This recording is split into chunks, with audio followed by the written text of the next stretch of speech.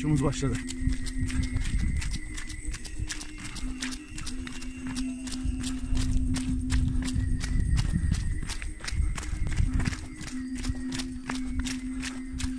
Bugün geleceğin büyük boksörü örnek aldığımız üstad boksör Muhammed Ali'nin talebesi Hamza Kadık'la beraber 11. kilometredeyiz. Sabahleyin ilk çıktığımızda gerçekten güzel bir yağmur vardı. Yağmur önce bir tozumuzu temizledi. Daha sonra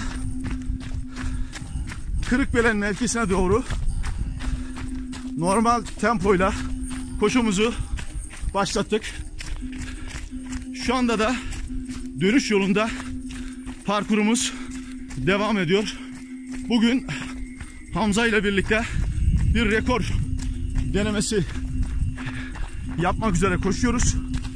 Galiba rekorumuzu çok rahat şekilde kırmış olacağız. Başarılı olacak hocam.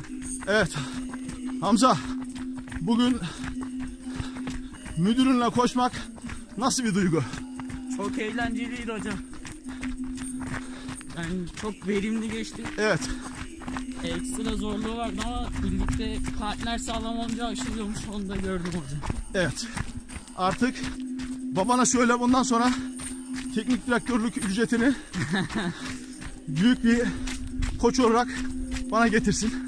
Allah Hem hakkınızı Keselim, yiyelim hem de koşalım. Başarım hocam. Sizle çok iyi ekstra zirvelere çıkacağız abi. İnşallah.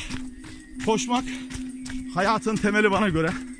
İlk koşan insan kimse gerçekten Allah Allah evet ona teşekkür ediyoruz. Şu anda kaleye varmak için yaklaşık bir 4-4,5 kilometre mesafemiz var. Bu mesafemizle koşarak bitireceğiz inşallah. Şu anda görüyorsunuz manzara bu şekilde. Sis de o kadar güzel, hoş ki bugün akşama kadar koşsak gerçekten yorulmayacağız gibime geliyor.